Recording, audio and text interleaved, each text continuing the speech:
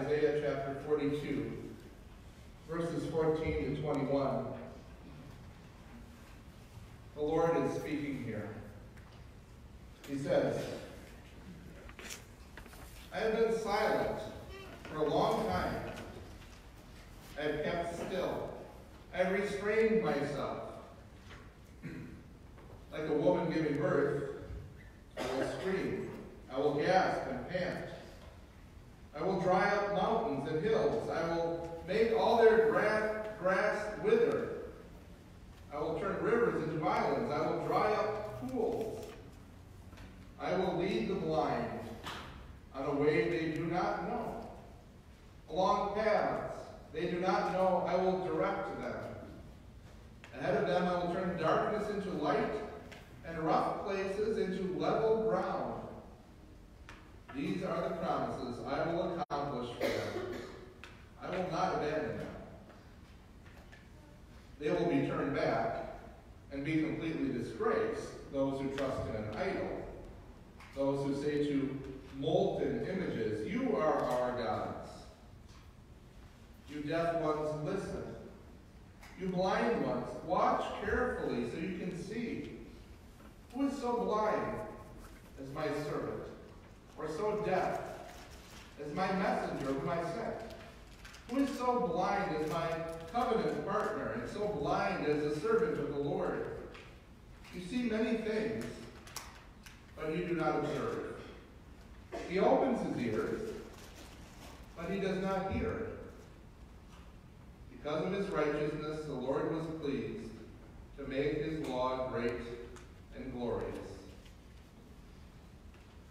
This is God's word. What would you do if I to put a blindfold around your eyes?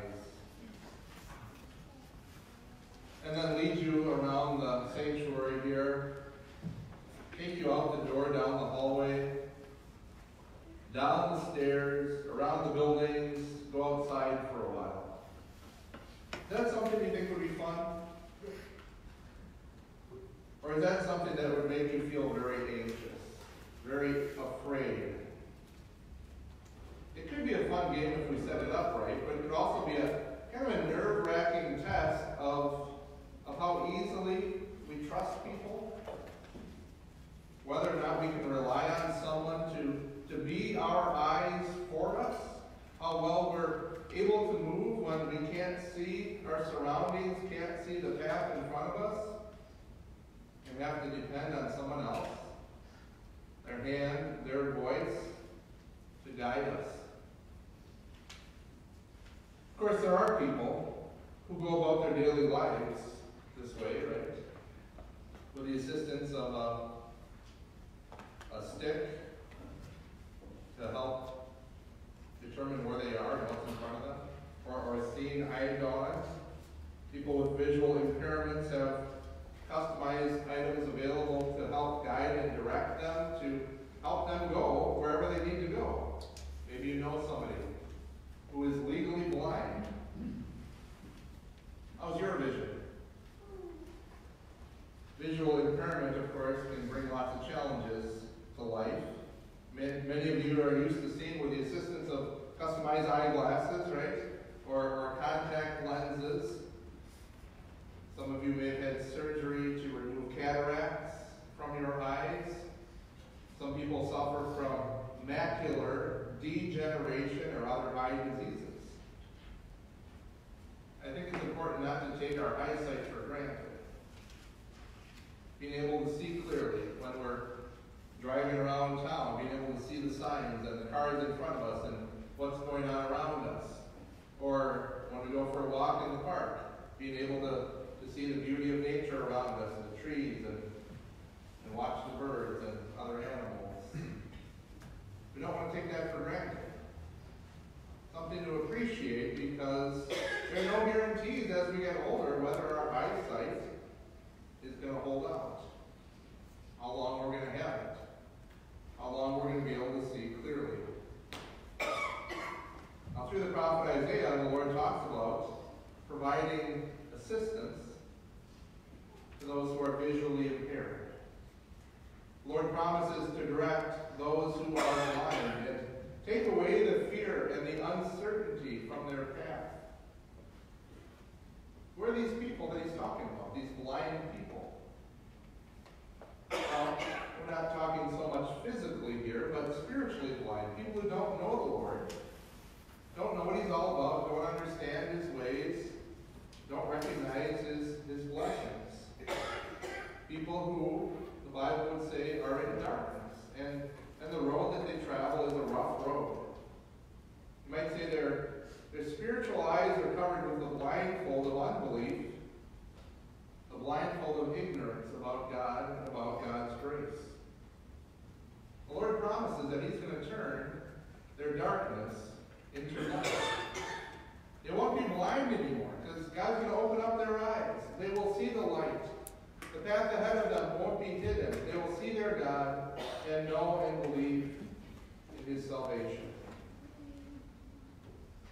when it's dark, when you have your eyes covered with a blindfold, you try to walk on, on uneven ground, there's always that risk of falling and, and hurting yourself. And so you have to take every step very slowly, very deliberately, because you're afraid you're going to get hurt. You don't know if it's really safe. You don't know where the danger is. But the Lord promises here that the rough places will become level, they'll become smooth and easy to travel. Now, in the Gospel, at the start of the service today, we heard about how Jesus opened the eyes of a man who was born blind. Obviously, that changed that man's life, didn't it?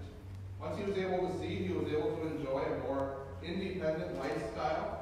He didn't have to constantly rely on other people to guide him and direct him and to provide for him. He didn't have to probably beg anymore because he could take care of himself better.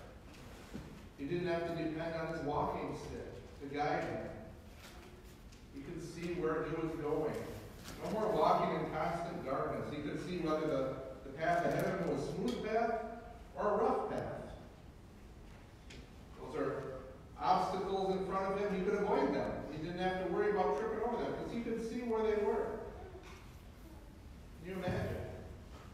Can you imagine going from not being able to see anything to suddenly being able to see everything? All of life with its brilliant colors.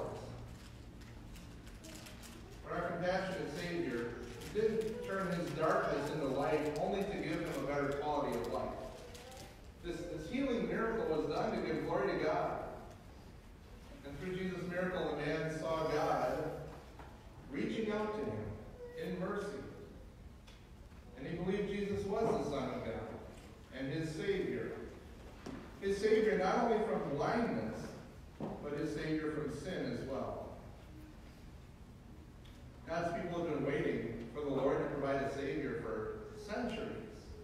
All the promises of the Messiah in the Old Testament. And then suddenly, a few hundred years of silence. No new promises. Well, what's he waiting for? We need to be rescued. We need some relief here. It might have seemed like the Lord had restrained himself and, and kept quiet for centuries while the people of Israel waited for this eye-opener Messiah to come. But of that strange illustration from Isaiah 42, like a woman waits until the time is right to give birth. The Lord waited until the time was right to send his son into this world. And the blind man literally received his sight through Jesus Christ, literally fulfilling this promise given through the prophet Isaiah. But even better, he was brought out of a life of fear and darkness and hopelessness, and he was given joy and hope, knowing he had a Savior. So in this way, it's not just this man born blind who is the fulfillment of God's promises, but it's fulfilled in every spiritually blind person that the Lord guides out of unbelief. Or before people can only see darkness ahead of them, the Lord has opened their eyes to see clearly the lighted path to heaven through Jesus Christ. That's us, right? We're also those people who were blind, but by God's grace now we can see. We might not be aware of the dramatic contrast so much in our lives between simply because of the fact that we are descended from Adam and Eve, we inherit that completely corrupted nature. When we're conceived, we're sinful, we're in darkness. And the world in which we are born can offer us no good hope for the future. Instead, it reminds us again and again through disease, through disaster, that lives are fragile and lives are short, and who knows what's next. But the Lord has chosen you by grace to be his child. He called you out of darkness. He took you, took you by the hand and he led you safely into his light. You don't need to be afraid of stumbling and falling because he promises he's not going to abandon you. He's never going to leave you on your own. This promise from God is, is placed on people of all ages at baptism. The promise of God's love and forgiveness and his concern for those spiritually blind people. It's a promise of guidance and protection throughout this life. A promise centered on the light of the world, Jesus Christ, who opens the eyes of the blind so that they can see him, their Savior, who came into this world to bring peace. Peace between people and our God. Peace through his obedient life and his self-sacrifice on the cross. Now, sadly, just like we hear in the Gospel of John, the Lord in Isaiah condemns some of his people who had been given so many blessings and so many privileges for his chosen people. The Lord made his law great and glorious. He, he gave them his law through Moses and said, You are my people. You're supposed to be different from the world around you. You're supposed to honor me with your lives and follow my commandments. They were special. And they were supposed to be a blessing to the entire world. But many of them rejected God. Although they physically belonged to the nation that was supposed to be a light for the world, spiritually, many were blind. Now the prophet Isaiah preached to the people of Jerusalem about a hundred years before the Babylonians came and, and destroyed their kingdom. So at the time of Isaiah already, their days were really numbered because their blindness had caused them to grope in the darkness away from the Lord, and they grabbed a hold of false gods instead.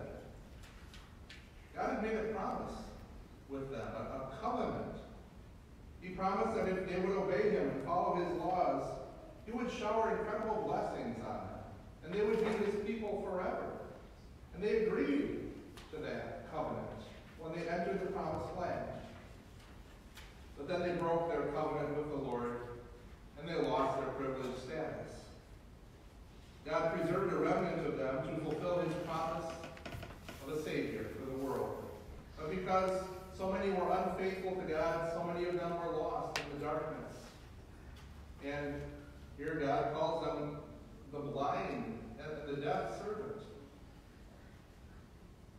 But when we think about the unfaithfulness of some of God's people, we should never think of ourselves as being better than they are. Instead, we should learn and take warning. Just like we learn and take warning from the example of, of people who at one time were Christians, but have since abandoned their faith.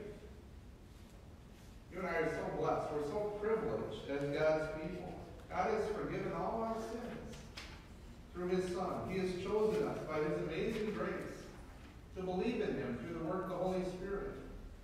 It's because of him that our eyes are open and that we are walking in the light of God's love on level ground that goes all the way to heaven. But let's not become arrogant or, or confident in ourselves. Never, we never want to take, grant, take for granted the gifts of God, or, or we too might become blind again. We need to take God's warning seriously and, and with and repentant hearts, focus our enlightened eyes on the cross, where we witness Jesus enduring the darkness of sin and of hell in order to bring us into the light. Only because he has done that for us can you and I have a bright future. Only because Jesus Christ endured the darkness of sin and hell for us can we confess with King David in Psalm 27 The Lord is my light and my salvation. Whom shall I fear? The Lord is the stronghold of my life. Of whom shall I be afraid? So praise God. Praise God for taking away your blindness and giving you eyes to see Him as your one and only Savior. Amen.